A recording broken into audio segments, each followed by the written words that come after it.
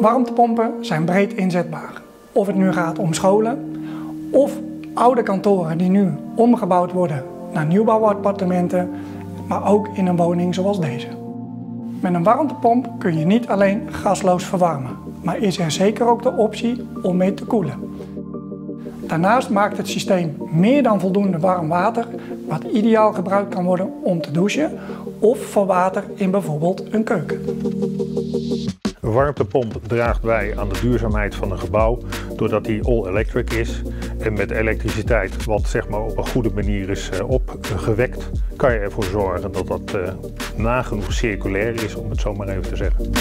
Met LG bieden we een zeer sterk luchtwaterwarmtepompprogramma. Hierin onderscheiden we twee hoofdlijnen.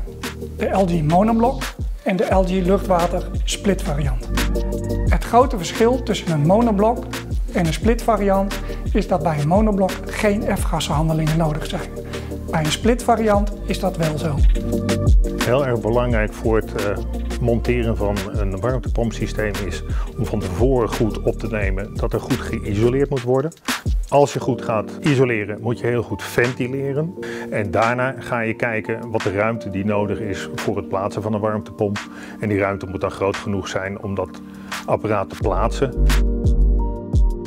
De samenwerking tussen LG, Centecom en Bloemendal is zo sterk omdat we elkaar respecteren en ervoor zorgen dat de kennis over wordt gedragen.